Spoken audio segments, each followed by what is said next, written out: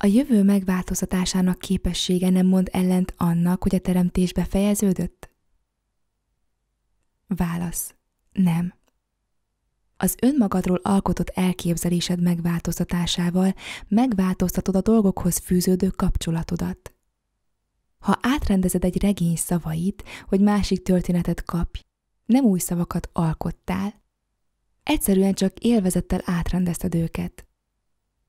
Az önmagadról alkotott elképzelésed határozza meg azon események sorrendjét, amelyekkel találkozol.